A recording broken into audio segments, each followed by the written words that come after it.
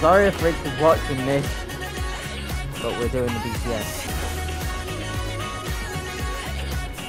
I'm, I might do it. again.